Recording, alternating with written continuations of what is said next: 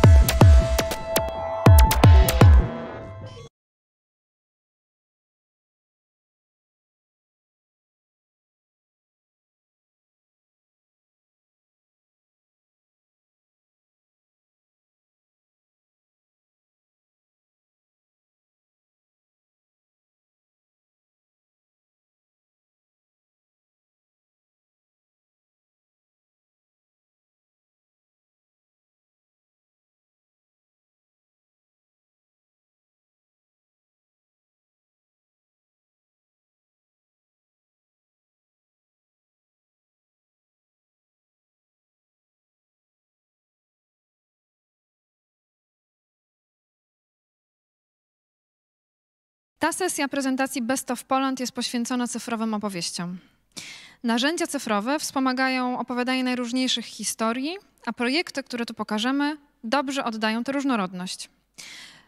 Comixify AI rozwija technologię opartą o AI, która wspiera postprodukcję obrazów wideo. TNC BH 2017-18 to kontemplacyjny, wirtualny spacer wokół miejsca, w którym Kiedyś stała zburzona w czasie II wojny światowej synagoga. Storycopter to aplikacja, która pozwala dziennikarzom na tworzenie zajmujących opowieści dostępnych w sieci. Niestety jej twórca Piotr Fedorczyk nie mógł dzisiaj być z nami, ale jego projekt zobaczą Państwo na stronie internetowej festiwalu w zakładce Best of Poland. Zobaczymy też Stargaze, grę VR, w której gracze odkrywają wszechświat złożony z maleńkich planet i projekt Kronika, w ramach którego powstaje infrastruktura służąca do przechowywania i udostępniania cyfrowych zasobów nauki i kultury. W czasie prezentacji można zadawać twórcom pytania na czacie, a potem zapraszamy na sesję QA.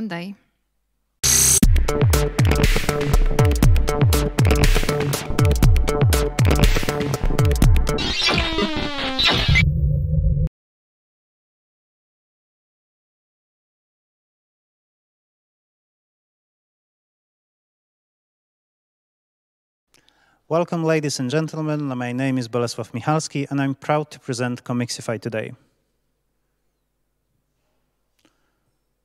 Comixify, we're in Comixify, we're using proprietary algorithms. We developed uh, products that can use artificial intelligence in business. Our demo installation got more than 230,000 users and 100,000 comics. How it works? It's quite simple. The relevant frames are selected from any given movies. Then we use method of popularity and uh, quality estimation to choose the best frame. And at the end, we just change them in the cartoon. Proprietary machine algorithms that we own can transfer style of any video that we will present them. Simply, our AI is looking at the video and then generate the style.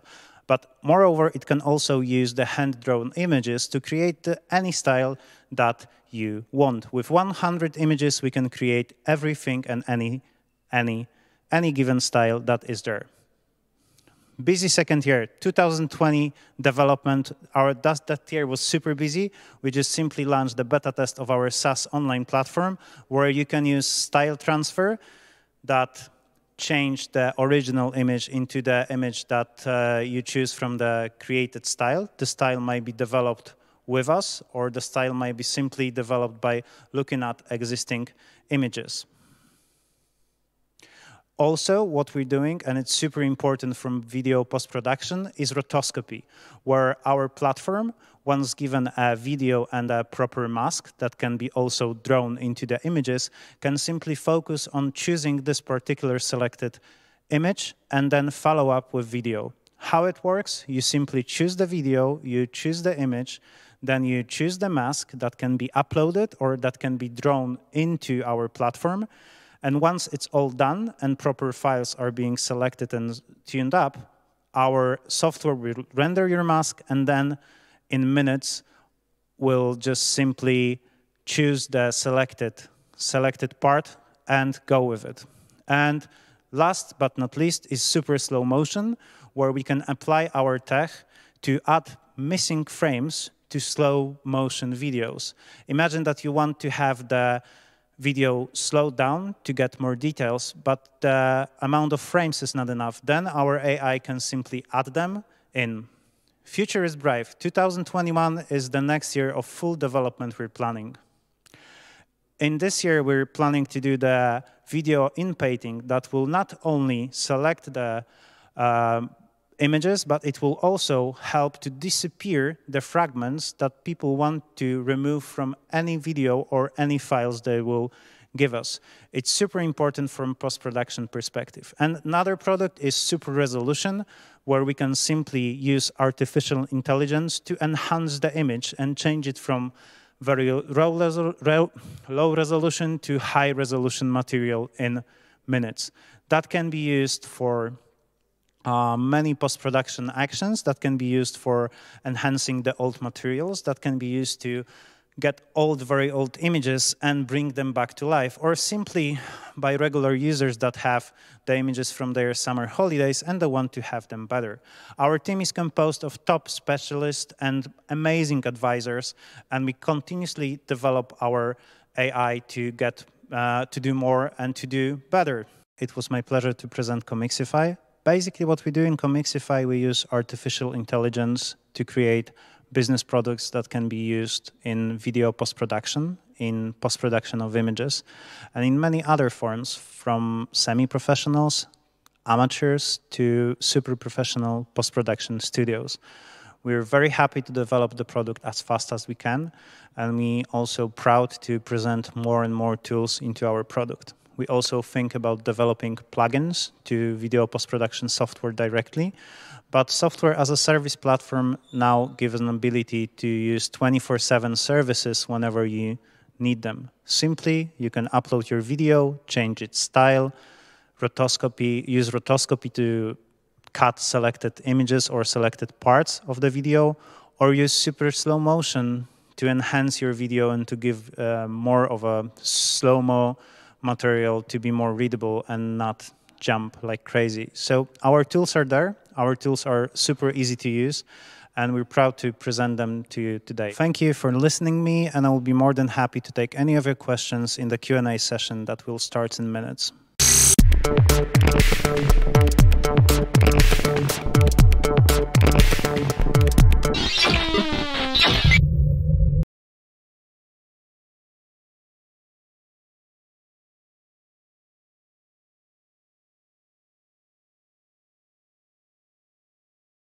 Dzień dobry Państwu, Małgorzata Uczyna. Jacek Złoczowski.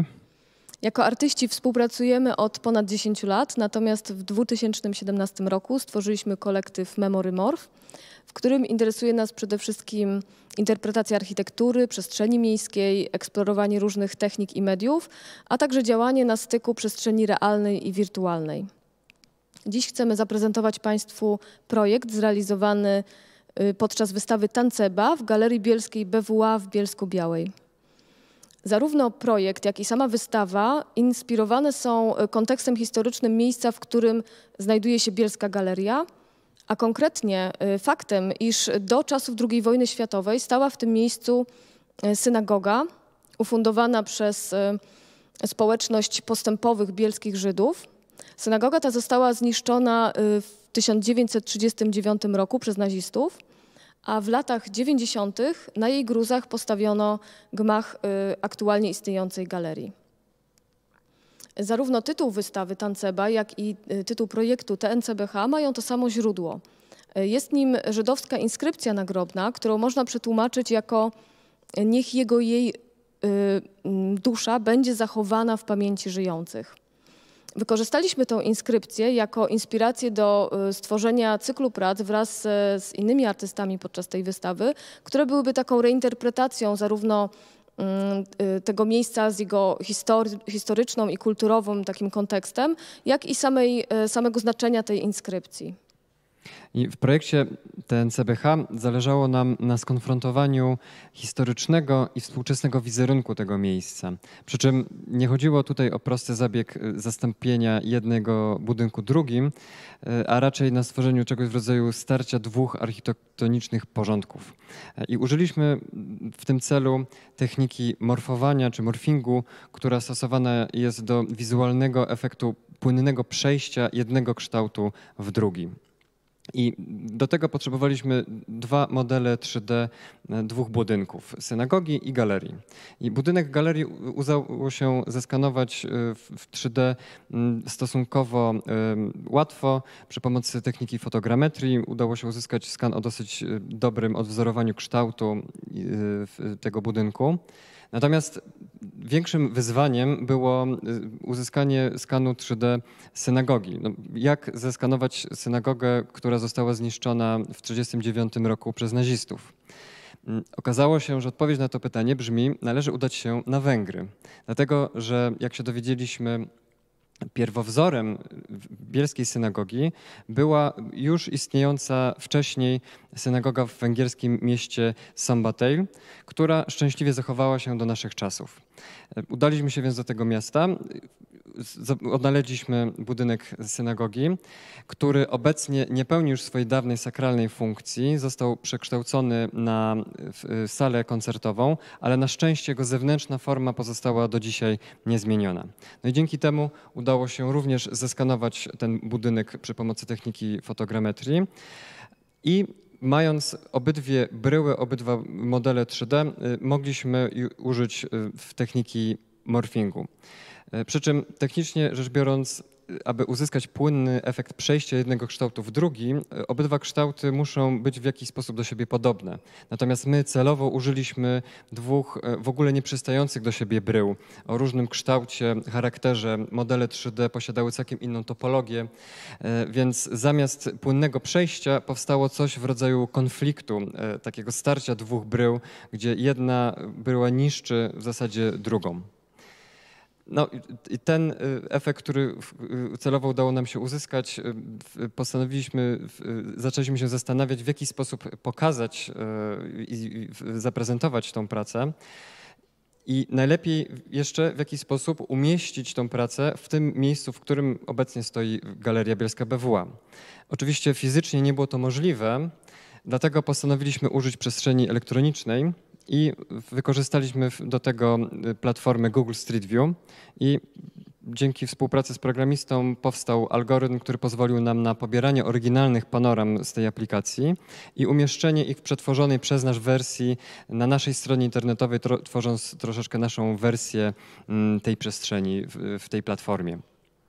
Dzięki temu odbiorca, poruszając się wirtualnie ulicami wokół galerii, może doświadczać kolejnych etapów dekonstrukcji bryły i zderzenia się tych dwóch porządków architektonicznych, no i tych dwóch wzorców kulturowych, które istniały i, lub istnieją w tym miejscu. Ostatnim etapem i takim podsumowaniem tego projektu było wygenerowanie kodu QR kierującego do tej właśnie strony, a następnie odtworzenie go w formie muralu na dachu Bielskiej Galerii. Takie działanie pozwoliło nam na dotarcie do szerszej grupy odbiorców, to znaczy poprzez y, mapy satelitarne Google mogą na ten projekt, na ten znak, symbol, który gdzieś y, znajduje się na dachu galerii, trafić także przypadkowi użytkownicy map satelitarnych Google. Ten mural na dachu galerii jest formą takiej streetartowej tablicy pamiątkowej dla historii tego miejsca.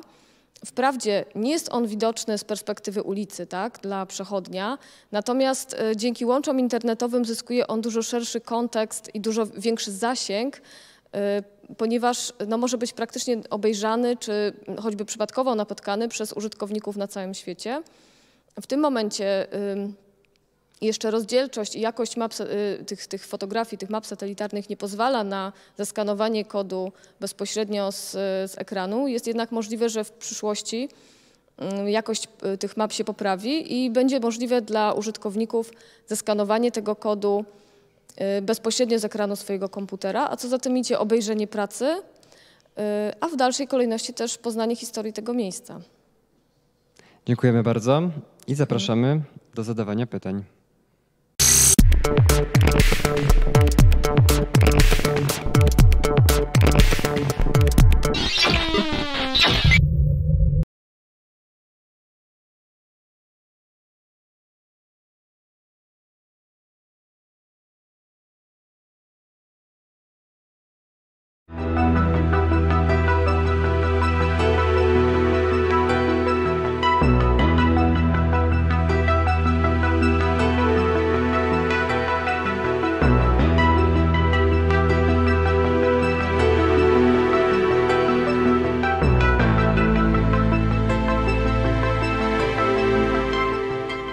Dzień dobry Państwu. Ja nazywam się Rafał Basaj, a towarzyszy mi dziś Igor Hardy. Dzień dobry Państwu.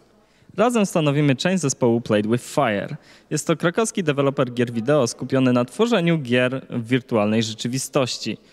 Naszym celem jest tworzenie fantastycznych, imersyjnych światów stylizowanych na ilustracje książkowe, tudzież baśniowe, bajkowe. I taki też jest Stargaze, który dziś Państwu przedstawimy. Zapraszam na gameplay.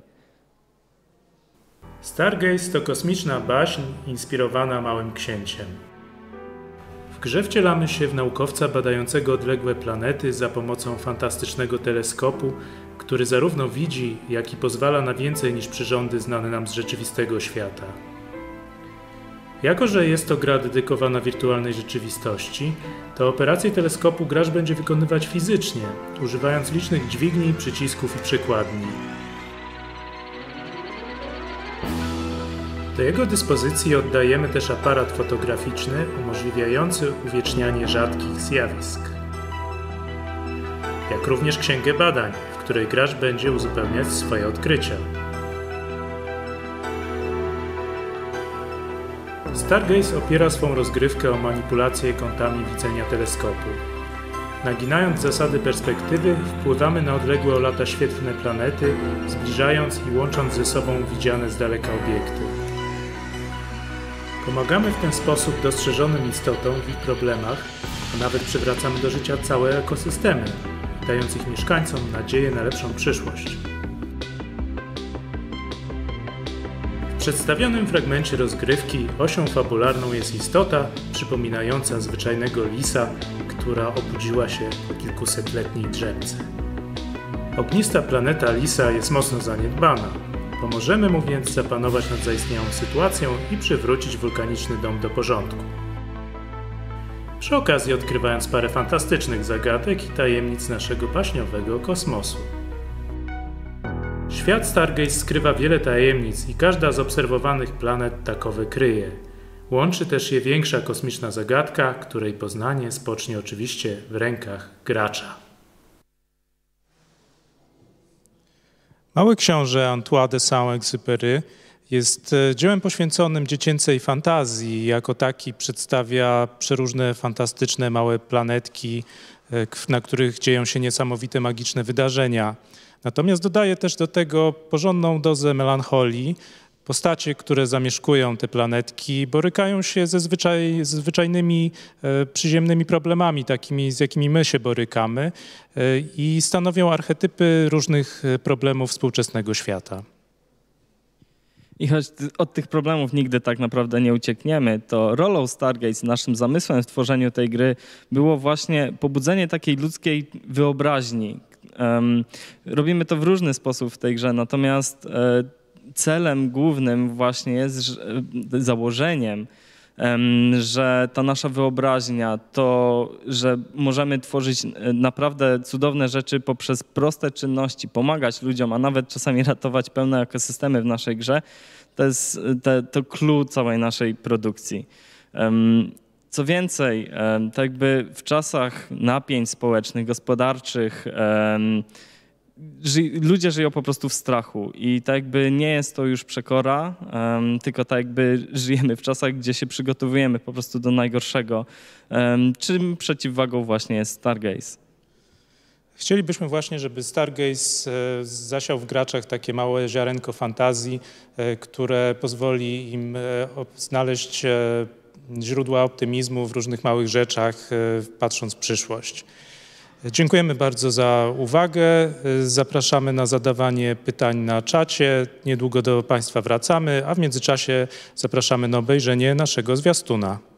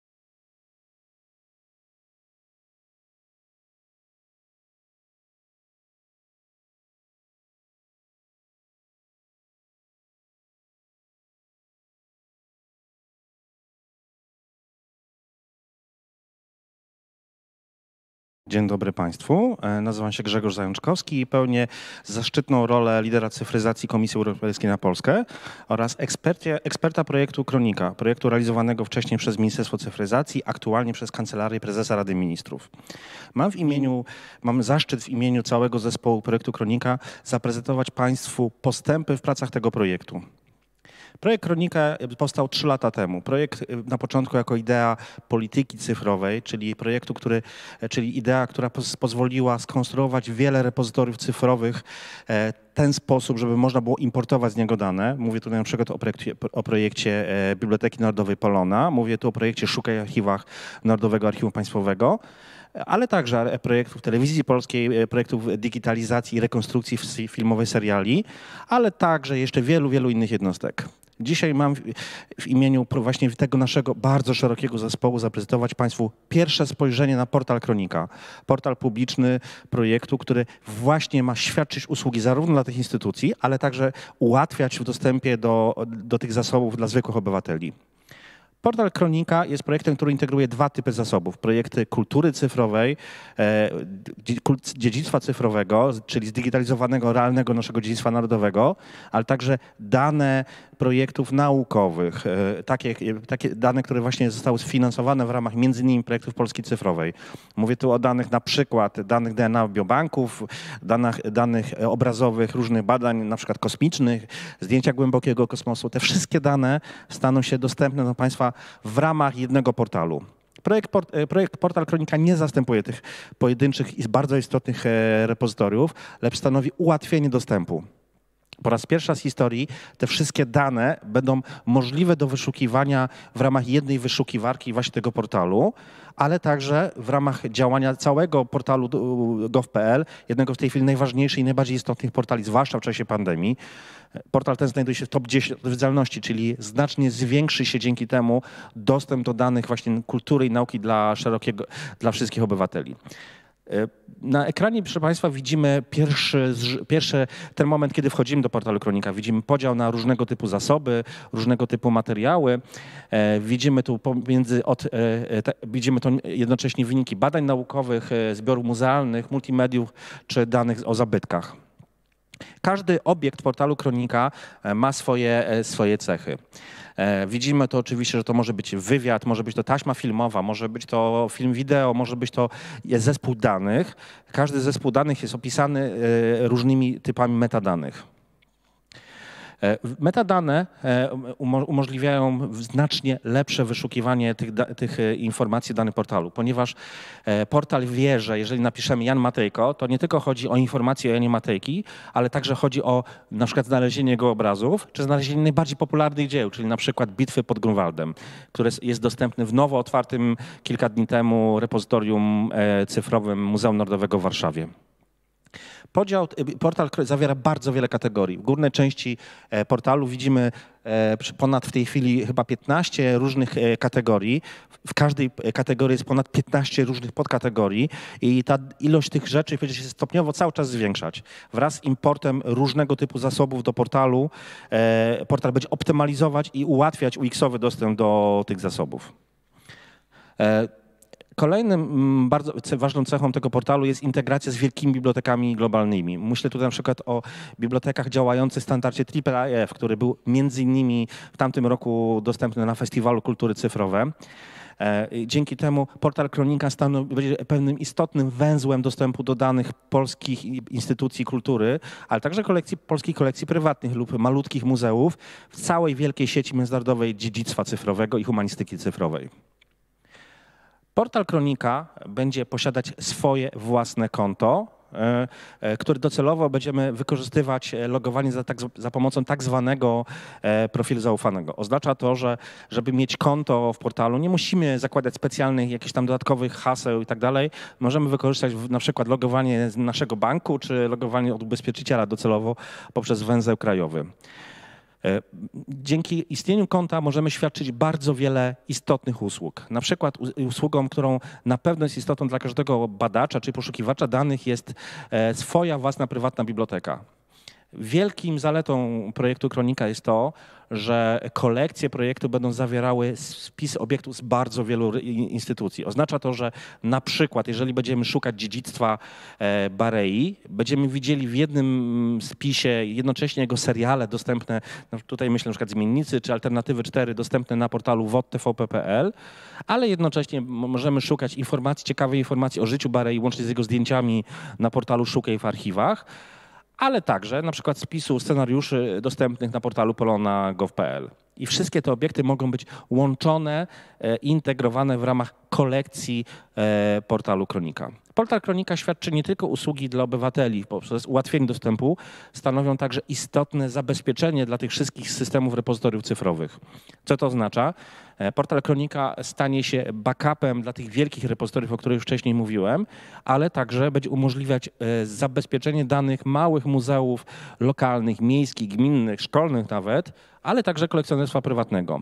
E, na festiwalu, na festiwalu Kultury Cyfrowej będziemy organizować warsztat, w którym pokażemy, w jaki sposób można przygotować swoją kolekcję do umieszczenia w projekcie Kronika. Umieszczenie w projekcie Kronika będzie, będzie bezpłatne, jednocześnie niepubliczne, czyli jeżeli instytucja nie będzie chciała tych informacji udostępniać, to będzie miała taką możliwość, a nie konieczność. E, zapraszam Państwa do uczestnictwa w warsztacie projektu Kronika i zapraszam Państwa już niedługo do wejścia na portal kronika.gov.pl i zobaczenia, e, jak rozwija się ten projekt. Dziękuję bardzo uprzejmie.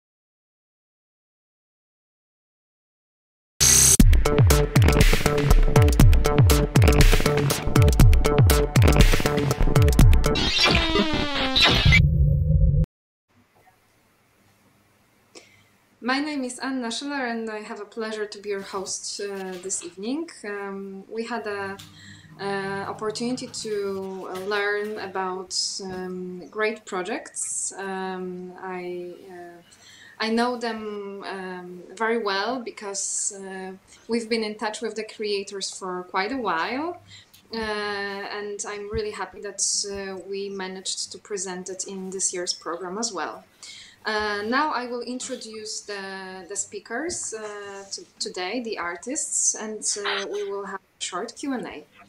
So um, we are um, together with uh, Memorymorph, Małgorzata Łuczyna and uh, Jacek Złoczowski. Um, they represent the project uh, TNCBH 2017-2018 um, uh, which they did in collaboration with the BWA Gallery. Um, we are also with uh, Bolesław uh, Michalski from Comixify AI, Grzegorz Zajączkowski representing the Kronika project, and um, Igor Hardy and Rafał Basaj from Played with Fire, who will talk about their game Stargaze.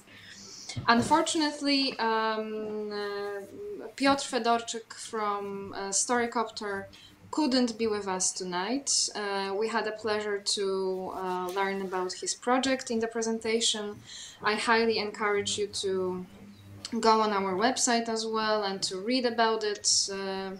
Uh, um, uh, also, you received those who subscribe our newsletter uh, received PDF. Uh, uh, we created a special catalog that presents the best of Poland projects, and um, you can read about all the projects that were and will be presented uh, in these sessions.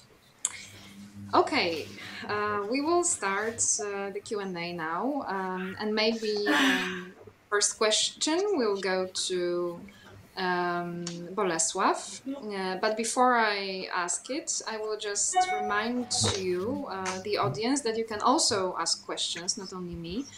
Um, uh, regardless to the platform you uh, are watching the broadcast, either it is YouTube uh, Facebook or Zoom. You can ask questions to the creators. Uh, I will receive them and I will uh, ask them um, during this session. Uh, so I really encourage you to um, to participate in our conversation. Okay, Bolesław, um, my first question goes to you. Um, could you tell us um, how does the development of AI solutions, in your opinion, uh, change the la landscape of um, of the image processing apps? Um, from your experience, yes. or, or from Comixify AI, but I'm sure you uh, have a great knowledge about the um, uh, other um, other companies that develop similar solutions and also other companies that use AI in this realm. So, um, what's your opinion on that? The key thing with AI is to try to use artificial intelligence uh, to limit the amount of work. That's basically what is our most important uh, task here at Comixify. We are trying to create tools that eventually will help artists to limit the amount of work they need to put in um, their videos or their images. Simply, if you look at it from the perspective that based on about 100 images, we can create a style that will mimic the hand drawing images created. Let me just show you. This is based on 100 images. This style I'm presenting right now is based on 100 hand drawn images. So uh, with this done once, and with our artificial intelligence being able to uh, mimic the style and copy it and apply it to videos or to other images. This will simply help the artist in future and most of his future um, jobs and also his future creation. And uh, this is what is probably the most important in, in the matter of um, AI, where it's responsible for making the workload uh, smaller and the work in general easier. This is what is our main goal, and this is what we're trying to uh, to achieve. And this is also what uh, most of the companies are doing to help, uh, for example, with the rotoscopy, where you can simply select one thing and then the artificial intelligence will uh, do the rest for you, or with uh, presets, uh, AI-driven presets of light or AI-driven preset of um, colorization or color correction. This is what AI is doing in terms of helping artists and helping working with the image. You can simply ask to ask AI to give you results of something that you will have to spend a lot of time, if done manually. Okay. Thank you. So uh, the workload, uh, the speed of work, um, does it also help Definitely. to create it faster? Well, if you look at it right now, I can do this. I'm using probably a, a mid-range graphic cards on my computer, and uh, we can get to 10, probably 15 uh, frames per second with uh, 7020 resolution, which is the HD resolution. Maybe not full HD or 4K, obviously, but then again, we're speaking about the mid-range graphic cards that cost less than probably 200, uh, 2,000 zlotys. So it's something that is very accessible, and we you can see still me moving and even though it's uh, laggy and it's not very um, it's not 25 30 fps it's uh, it's holding and it's, it's working quite well. So imagine what we can do on the fully functioning uh, graphic cards that are there when we kind of reaching the live streaming with our handmade filters right? So the speed of work is also increased by ai definitely. Good good question and, and yes true. Thank you so much Speaking about technology, uh, let's stick to this for a moment. Uh, I have a question to a Memorymorph. Um, I'm wondering uh, why did you use and uh, did you choose to use Google Street View interface instead of, for example, using just you know a 3D model, model or augmented reality app? Why Google Street? You understand? Uh, yes, well, um, the, the main uh, advantage of, of such tools is that they are uh, very, very common and uh, everybody is used to um, those types of, of platforms. So uh, we wanted, to, the goal was to um, to make it as as accessible as possible. Yes, and to make the art uh, not only go outside the, the gallery, but uh, also in the virtual space go into the very common ground, uh, not some very specific created only for the purpose of, of the gallery of, of exhibition uh, platform, but uh, to blend it as much as possible with real life and in virtual uh, layer, the, the, the, the normal life, ordinary life is using such platform as, as Google Google Street View in our case. And maybe on the let's say the level of the concept, there was this idea that uh, Google Street View is, is uh, somehow representing the reality for us. So we um, most of us nowadays trust the vision that Google serves us, shows us on the maps on the Street View, uh, and somehow we we take it for uh, for true. We take it for real, for reality. When we travel somewhere, we we really uh, tend to rely on what Google tells us. Where should we go? How to find the way to some place? And when we see the place on the Google Street View, even if we were have never been there, we really try to believe. Uh, we, we don't try. We believe that this is really the place that we this want to visit. This is the re- reality. So Google shows us a version of reality and we also wanted to play with these visions of reality so we wanted to make this uh, i don't know how to say this maybe it's like hacking somehow mm. okay it's not a hacker hacker's job but it's a kind of uh, playing with this expanding this the possibilities yeah. yes the first idea was how can we make uh, alternative visions vision of this place where the gallery is nowadays and how can we make it as accessible to the people as possible as close to reality? If we would make um, an application on our website which is completely independent and doesn't is not based on some com- common device some common platform this would be just our vision. But we, we wanted to incorporate it into some uh, let's say external vision of reality I think this is. Thank you. Did you have a chance to talk with your audience about this? Uh, yes, yes. What they, how they feel about it? Did, did you, um, did you achieve your goal uh, in uh, in this project in terms of uh, making it as real as possible? Well the, the first the first and so far the only i think impression we had the, the feedback from the audience uh, was uh, during the exhibition uh, we were having a kind of artist talk also and uh, q&a also in the gallery it was after um, it was like the closing of the exhibition 2017 mm-hmm. and uh, there were lots of questions. Like some people were um, disappointed, some were not satisfied, some were fascinated that, oh wow, this is a completely different idea. Uh, some people said uh, what we uh, tried to achieve um, is like destroying architecture idea, so they were not very uh, satisfied. And uh, what else? There was some. There were some discussions about. Oh, sorry. there were some discussions about uh, what is now, what was before, and. Uh, well, our project is uh, is it, it, it was not replacing one building with another, so um, this was the main the main goal to, to create more more of a tension of, between those two buildings and architectures than than replacing one of another.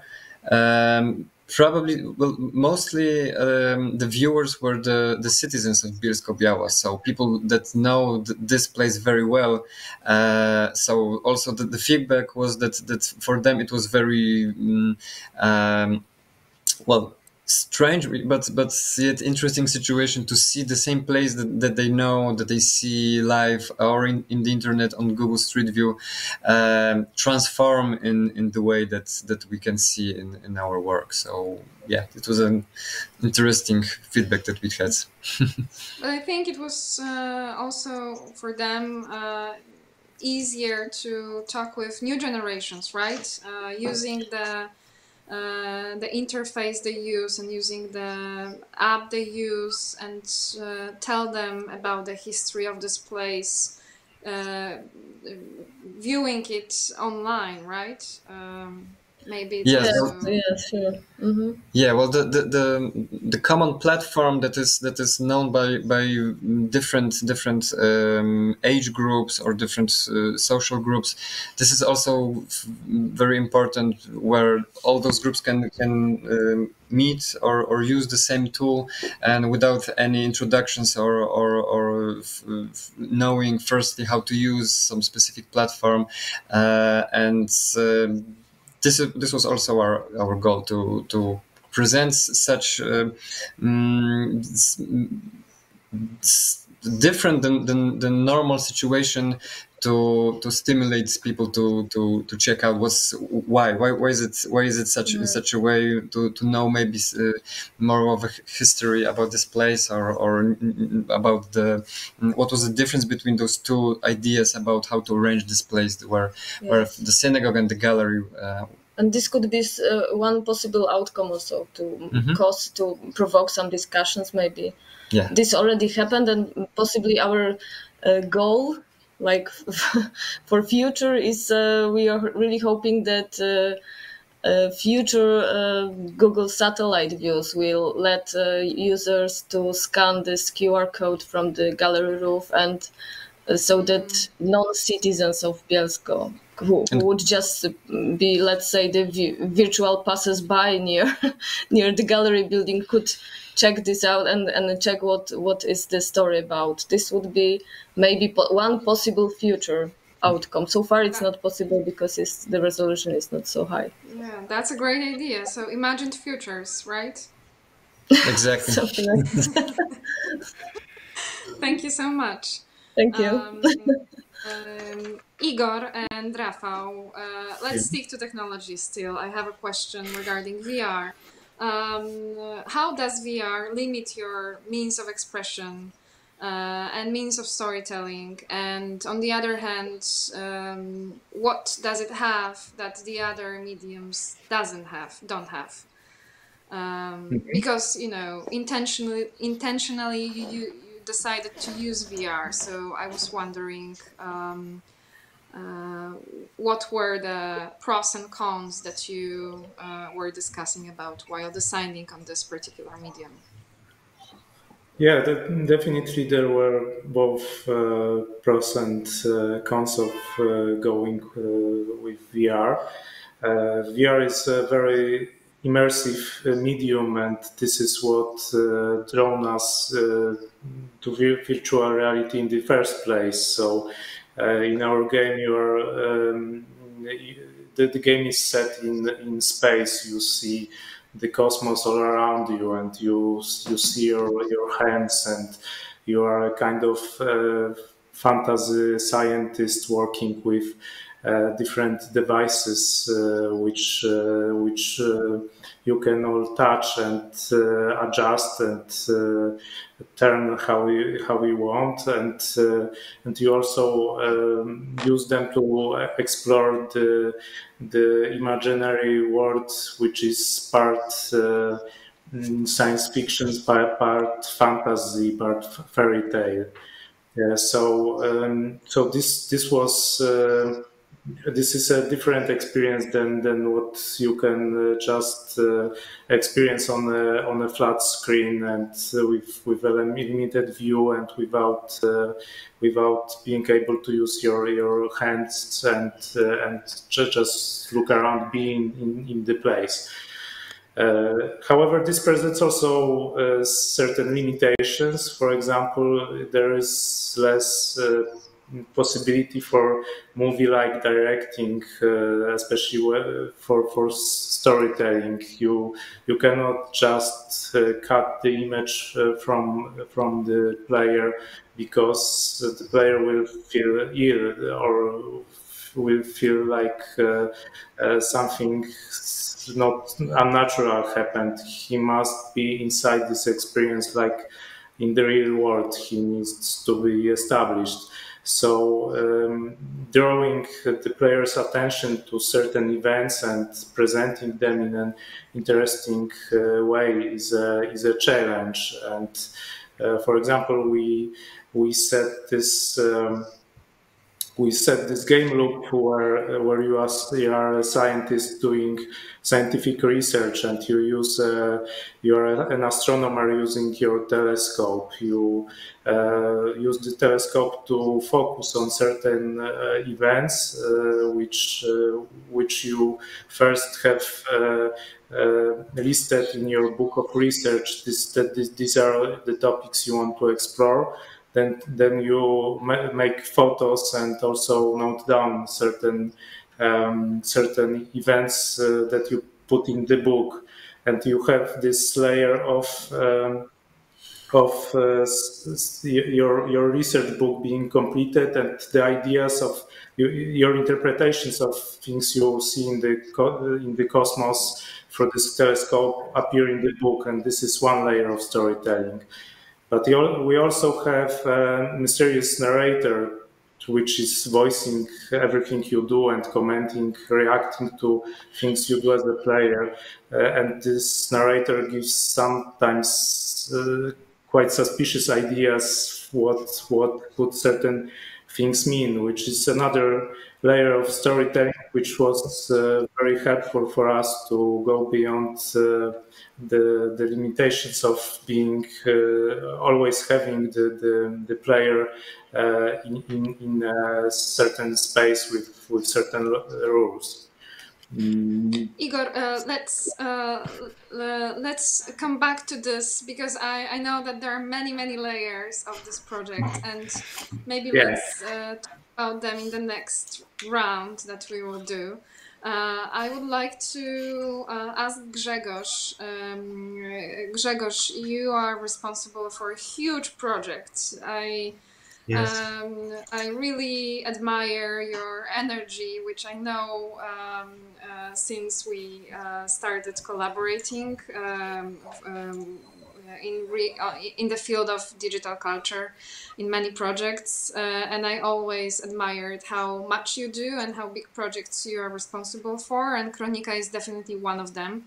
Um, I have a question. Uh, what do you think is the role of state institutions um, uh, in promoting accessibility and uh, and um, cultural resources? Um, I think uh, I think that is fundamental role because the we have many public institutions who has many uh, resources. We have many uh, we have many uh, uh, building many digital libraries. We building building digital museums. we're building digital archives. And role of the, of the um, country is collecting this promoting, and we uh, still looking for new possibility to find uh, uh, uh find people to find people find uh, methods to uh, use materials in, in, normal education with in function with how to say uh, general, uh, we have so many digital resources and we have so many people who want to uh, use it. But we have still problem because uh, we don't, uh, people don't uh, know where this resource is. Mm-hmm, mm-hmm, the role of the mm-hmm. country is to try to find, to promote this, this libraries, these digital museums, and of course financing this this project because this is fundamental problem the, the museums, locals, uh, libraries uh, has a problem with getting money for this process. And this is one of the important role of the country in this process, of course, financing and promoting of using uh, of this resource. And also, from what I understand, uh, listening mm -hmm. to you, teaching where to look for this information, right? Yeah, we, we must look for the last uh, six months. Uh, how many uh, the, the, the statistics of National Library uh, in Poland, I think about System Polona, is jumping because uh, normally uh, in, this in this time of uh, lockdown, the use of all uh, uh, digital libraries is grow up uh, and and of course this is this material is using in many schools because it is ready to use educational materials who is put it in the in the normal lesson in normal schools. And I think this is the main target of, of this system for now. Grzegorz, uh, we have a question from the audience, so mm-hmm. uh, I will um, I will ask it now because I think it's important. Uh, the question is um, What institutions can join the Kronika program? Can private institutions, associations, for example, photographers, uh, also share their collections via the Kronika portal? What is the formal path of including the association uh, association's collection into the Kronika repository? everybody is so everybody what is invited. Can private institutions also join? Not on. What's, uh, what's the formal path? We invite everybody to use uh, Kronika system because in these days we we have a special workshop uh, including private collectors. This is a very special group because so many people in Poland collecting so many things and in, in making this uh, digital copy of this collection. Uh, Kronika is prepared prepared to making uh, to connecting uh, so many not only institutions but also private people. Uh, that uh, we preparing the system to um, uh, to secure all digital culture content in all the country, including museums and also private collection and private uh, and private uh, uh, and, and, so many people who want to put and secure your digital resource. Of course, in area in area of culture and science. Okay, thank you, thank you. Um, there is also a question to Bolesław, uh, a question from the audience. I think it's a very important question, very interesting one. I, am also curious to uh, learn about it. Uh, how Comixify deals with copyrights issues on of YouTube videos, for example. Uh, you mean that if someone is uh, using Comixify, using Comixify to change the video from YouTube, right? I, I guess that's the question. So basically, what we're doing, we're providing the service. we are we can't be responsible for what the the user will upload uh, and uh, change. This is not our role to uh, monitor what people are placing in our server. Obviously, we're filtering porn out, so you can't use anything that is improper on our uh, portals. But as long as you're using them, you're accepting the terms and regulations where we're giving you the ability to simply change the material you want. It's quite similar to any post-production software or any um, image edit software you can use basically. You can upload whatever you want and you can work with whatever you want. So this is very similar here that we are providing the service, we're providing the tech, uh, and in our terms and conditions, we are um, asking people to use only the materials that are being uh, that are theirs, that are that they have copyrights to. But this is also why we're not using any filters that uh, we were unable to create uh, ourselves from open source materials. We're not copying someone else's copyrights to give them later. As you could see from my presentation, you can mimic any style so we can simply ask our AI to watch um, old VHS Disney cassettes and then create the style. But we're not going to do it as long as we won't be approached by Disney. We won't mimic the Avengers or DC or Marvel copy style from comic books uh, without being uh, able to do it legally. So what we're building are the styles that we are able, and this is the one that we're giving out to people. And we're asking people to use only materials that they are owning. Thank you. Um, I also have a comment from our audience about Memorymorph. Um, I love Memorymorph. This is the comment. And the question is Are you planning to morph other historically interesting sites? Um, well, we've already started.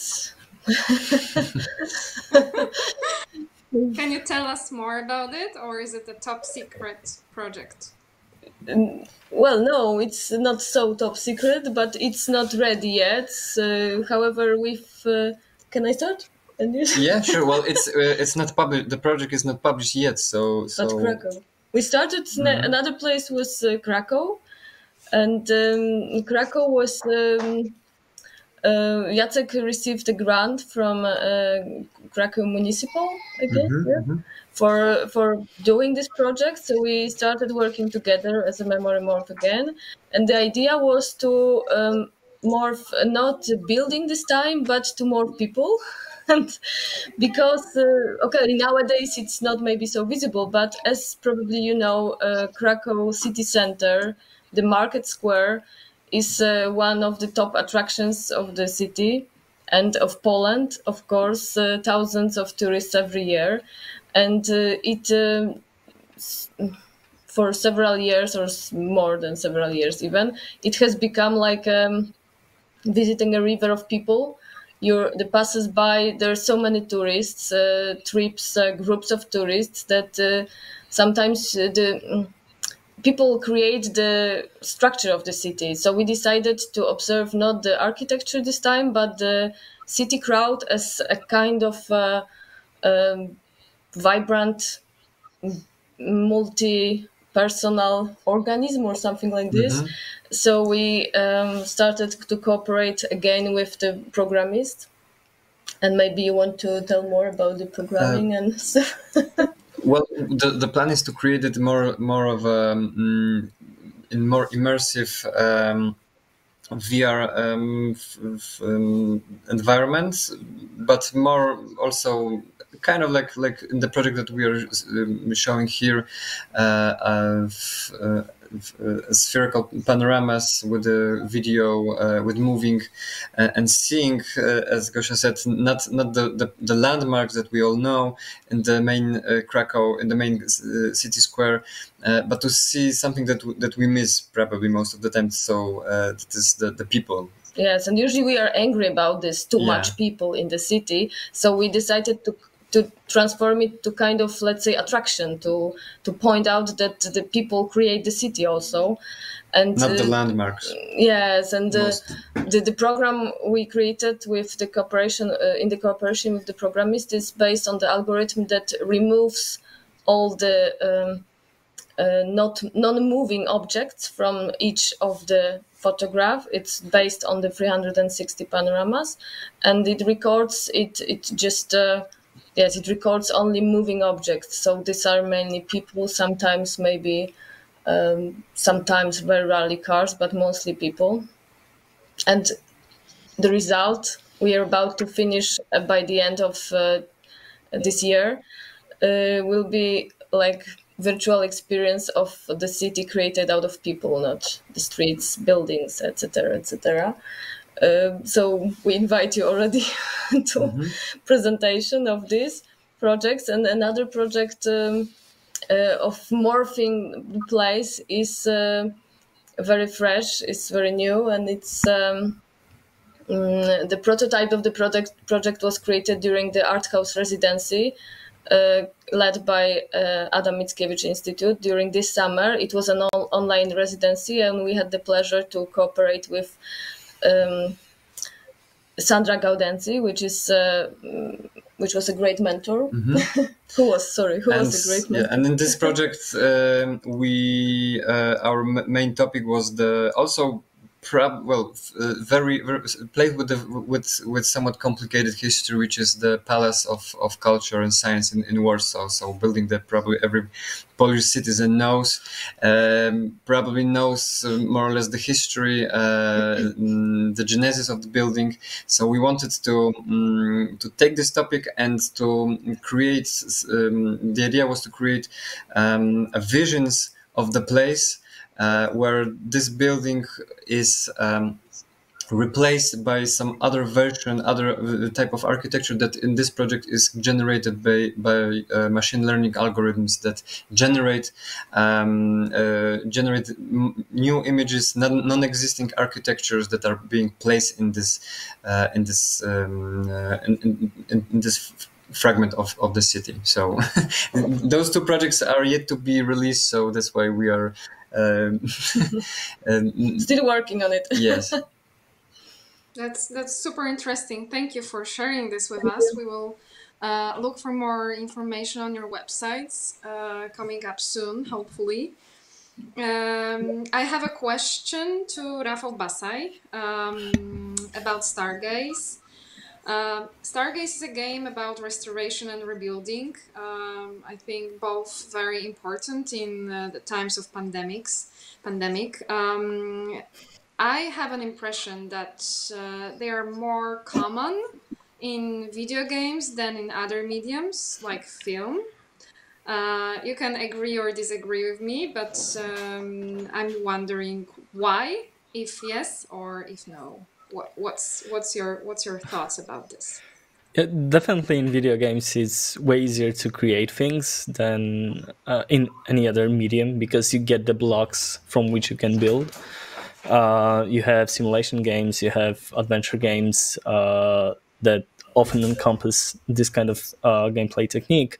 Um, so that's that's very very true. Actually, it's it, even because uh, video games are so immersive as a medium, it's definitely easier to add that building mechanics to make them fun uh, for the player.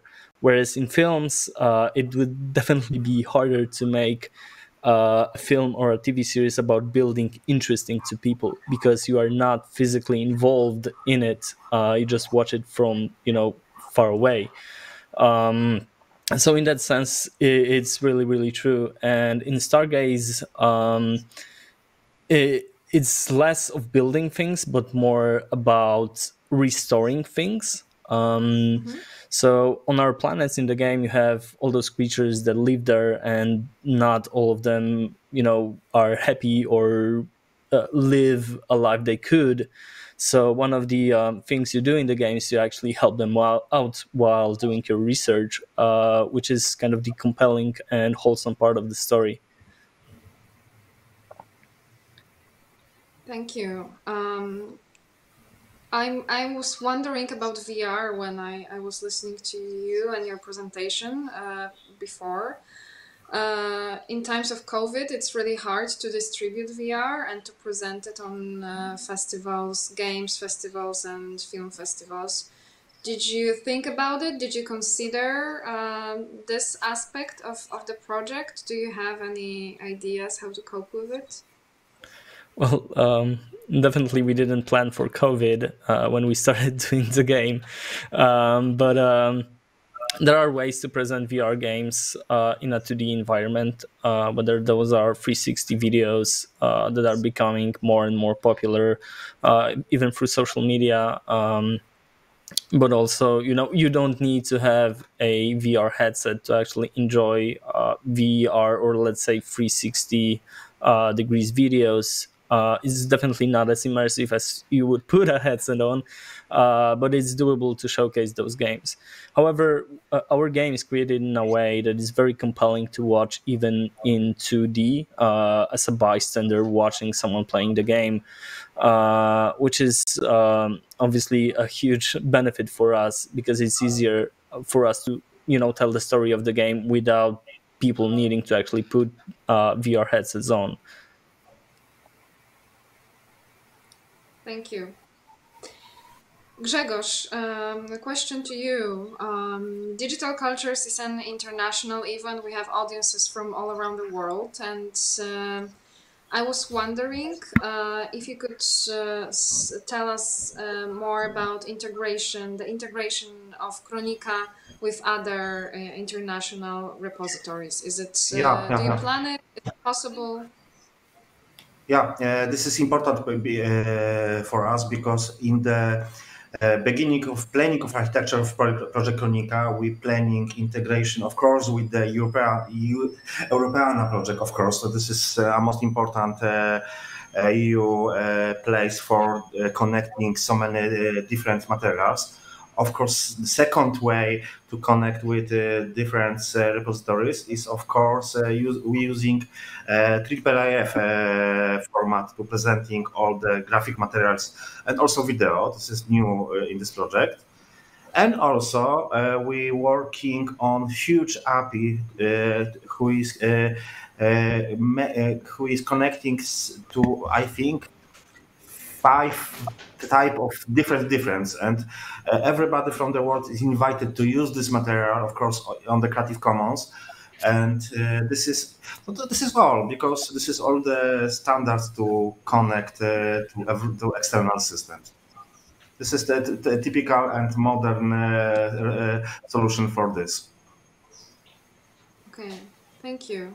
Thank you so much um, guys we are um, past time past the time we should be wrapping up soon. Uh, I was wondering if you if you want to add anything to your presentations or do you want to announce anything um, to our audiences at the moment? Is it anything you would like to tell the world and share, share the world with at the moment before we um, we finish?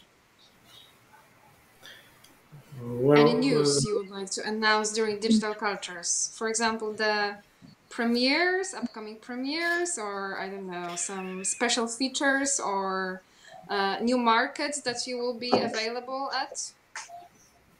We can offer uh, anyone who's watching us the free online uh, demo of our technology. If you want to style transfer your video, or if you want to rotoscopy it or use super resolution, uh, all you need to do is go to our website and then on the top left corner there is a VFX platform uh, link where you can apply for a demo. And we'll be more than happy to give all the people that are here with us the access to the demo with 20,000 free frames uh, to have fun and to try our tech. Great, that's that's wonderful. Thank you, Bolesław. Yeah, on our side of uh, sorry. On our side of things uh, stargaze is coming really really soon. Uh, we cannot state the date yet unfortunately but we promise you it won't be a long wait. Uh, the game will be available available on um, oculus htc vive uh, on steam and windows mixed realities. Uh, you can wishlist the game now so if you're interested in the concept we highly encourage you to to wishlist the game and stay on topic uh, with any kind of announcements we might have in the very near future. Thanks. Thank you.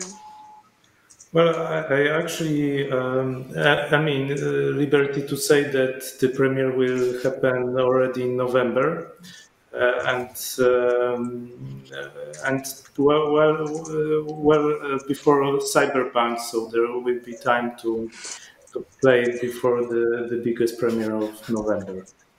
So that, that, that's what I wanted to add to Rafał. Right. We are very much looking forward to it. Grzegorz, um, Gosia, Jacek, anything to add? Yes, we have something to ask.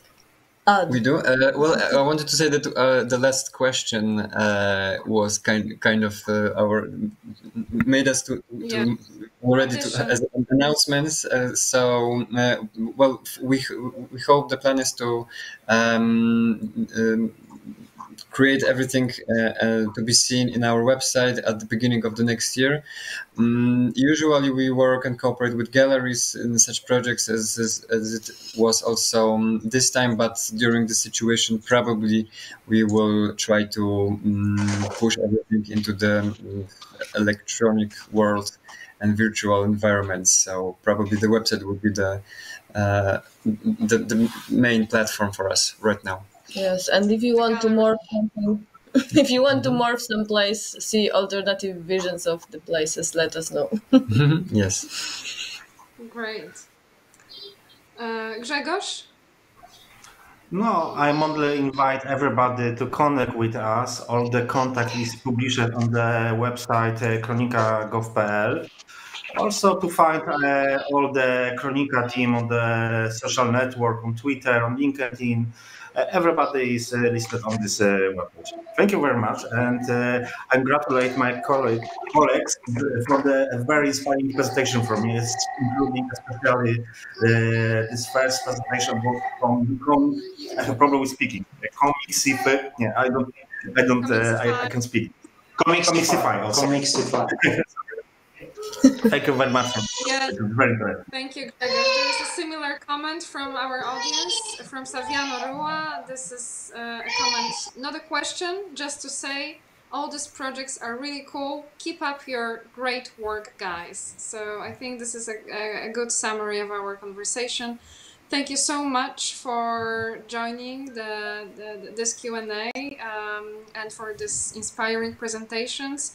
Again, I encourage everybody to uh, look on the website and to find the catalog uh, where all the Best of Poland presentations are gathered. This is something um, we would like to share with the world and, uh, um, and uh, we uh, encourage you to check it out.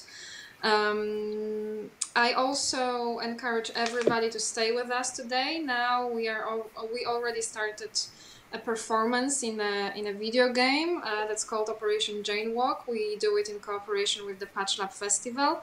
Uh, so if you go on the website, check the program for today, and click on the link, you will be redirected to the uh, to the website where the performance is taking place. Uh, and then uh, the film program, um, I think a good um, proposition for the Friday evening. Uh, still a lot of movies that are available on the Ninateka the website. And uh, a new uh, uh, project from the audio program of the Soon that starts today and premieres today at 9 p.m. So thank you so much. Uh, thank you for being with us and see you all very soon. Bye bye. Thank you. Thank you very much. Bye. Thank you. Bye. Bye. Thank you.